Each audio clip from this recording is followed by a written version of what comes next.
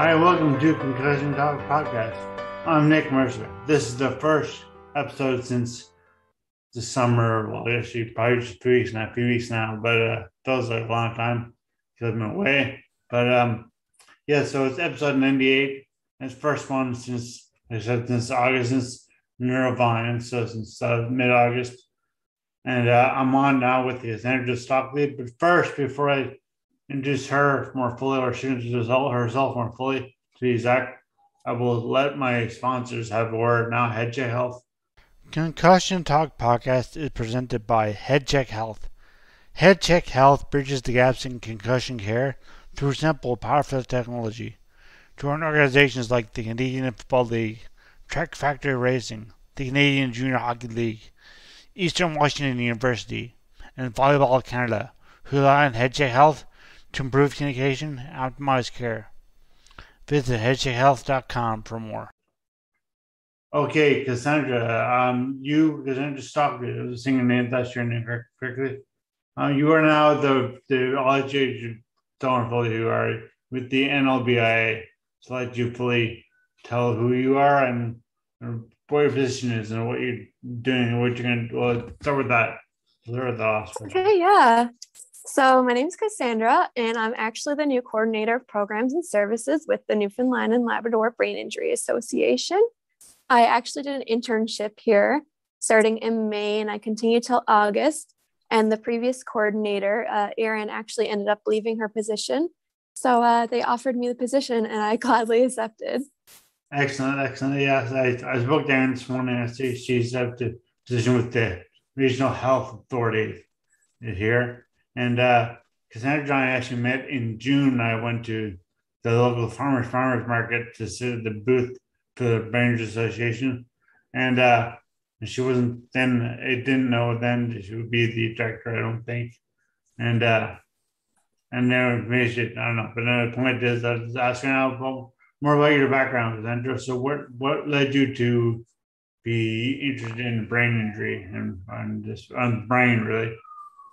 Yeah, for sure. So I actually did a bachelor of science in psychology at MUN, and when I was doing that, I that's one. To take a lot of, sorry, MUN is Memorial University in Flint, and so yes, yes.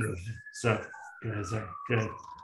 So yeah, I decided to take a lot of neuroscience courses because I decided that the brain was just really interesting to me. Uh, I grew up as an athlete, and I had a few concussions, so I they weren't major concussions or anything, but I knew they were difficult to deal with, and there wasn't really a lot of resources. I found that really just interesting and I wanted to see what else was out there. So uh, after I graduated from MUN, I ended up doing a graduate certificate at Mohawk College in brain disorders management. And that's kind of how I found this. And that is uh, Mohawk College is seems to be the Newfoundland NLBIA's stream of employees now the past two yeah, years. Yeah, yeah. And so, uh, so you you went down downtown to do that, or I guess you couldn't could you go down to do that, Hamilton, to do that? Or yeah, no, it actually ended all up being online yeah. because of COVID. It was supposed yeah. to be in person, but we actually found out like a month before the program started that the first semester was going to be online. And then we we're just going to go from there. But it ended up being that I didn't have to leave home whatsoever because I am from here. Yeah. So yeah, and I did it all online and I got to stay here for my internship. And now I got a job where I did my internship. So I'm kind of living the dream right now. yeah, so unless you want, unless you want to leave for a, for, for a few months. But uh, uh, so what sports did you play? You said you played, you grew up as an athlete, so you knew had connections playing sports. So what were they? Yeah, I actually did synchronized swimming, believe it or not, and concussions do happen there. Yeah. I played, I played barbell before, before your time, but uh, I was ball below Aquarena as well, which is local, the local big pool. They, they connected to MUN.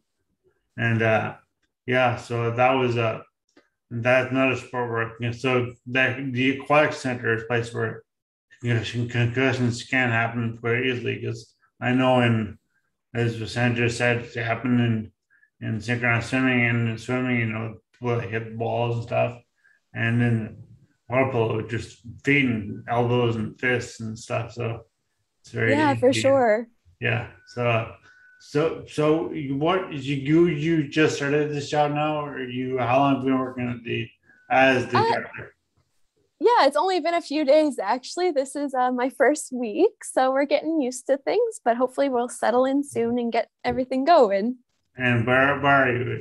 So we can let people know or how to find you. People in St. John's Yeah. or anything like that, or for example. So we're located on Peet Street in suite number 103. You can also find us on social media like Facebook, Instagram, and we also have a website that will give you more information for sure. Excellent, excellent. So, uh, so, so what about? So you said you said you just started taking some brain, some brain courses. That, that you did you do masters in neuroscience? So I saw. Uh, no, I just did a graduate certificate in brain disorders Oh, management. Right, right. So it's kind of a different approach because there's no master's thesis or anything. We do a capstone project Okay. with a team.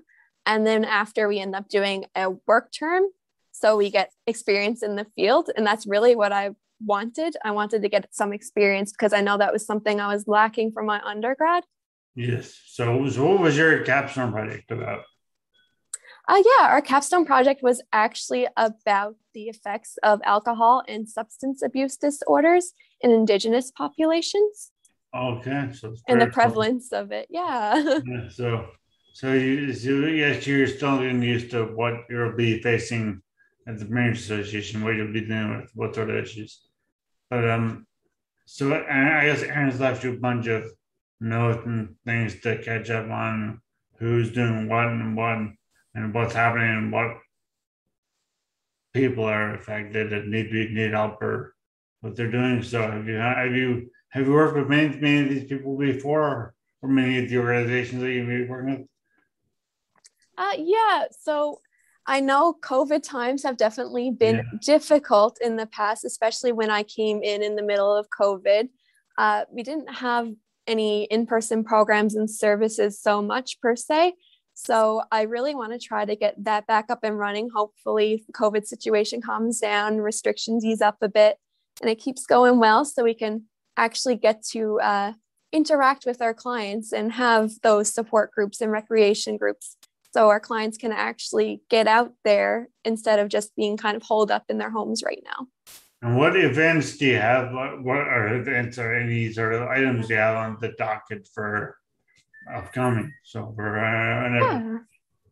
So the first thing we actually have is coming up in a few weeks. It's our second annual motorcycle ride for brain injury awareness. Uh, I wasn't here last year when they had it, but I've heard that it went over really well. So we're hoping that it'll be the same this year. So it's on September 25th at 11 a.m. and we're meeting in the old Costco parking lot of stop off of Stavanger Drive. And we're going to have a police escort and we're going to end up at the RNC headquarters.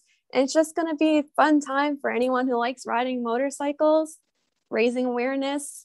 We're also going to be accepting donations, selling 50 50 tickets and pins. So just hoping to have a good time with that for sure and raise a bit of money and awareness. excellent. And we, yeah, you were saying yeah, we also have a few other things that we're hoping to uh, have happen in the next few months. anything you want to share, or do you not know the details yet? Um, yeah, no, we're organizing our annual dinner, so stay tuned for that. I think it's going to be in November. We're hoping COVID cooperates. Yes. But uh, yeah, we're going to work out all those details and hopefully get that happening as well.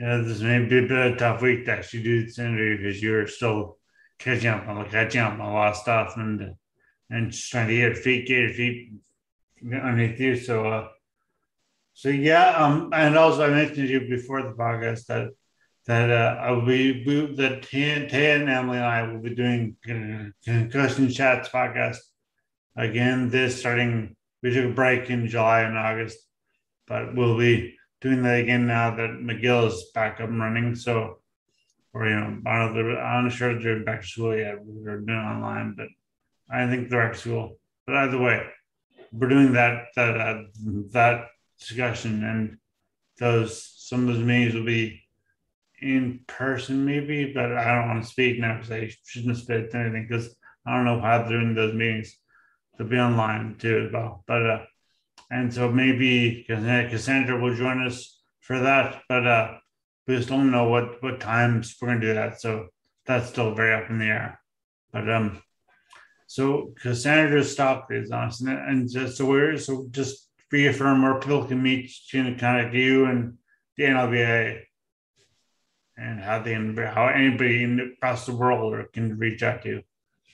Yeah, so we actually have a website, uh, www.nlbia.ca,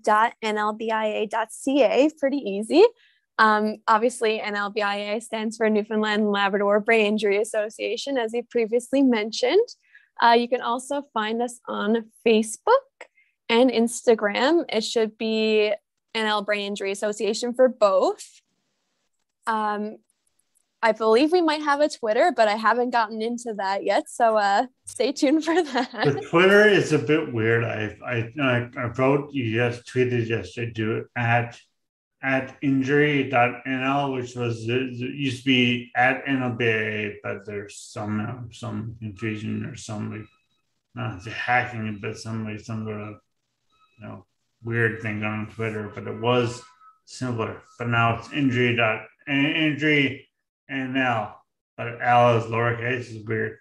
And um, yes, but uh, that being said, to thank Cassandra, and hopefully we'll, we'll definitely know whether or not we were able to coordinate the uh, concussion, concussion chat podcast. But by the way, I'll be contacting Cassandra later on again this year about other opportunities, opportunities, and events, events at NLBA and just find out more news about my local Rangers Association. So uh, thank you, Cassandra. Thank you. Thank you, everyone, for listening. And please consider reviewing and rating Concussion, Concussion Talk Podcast on wherever you get your podcast. So, and New League Times on music.